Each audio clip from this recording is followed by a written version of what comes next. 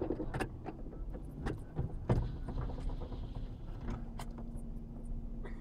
I just say to you, you want to move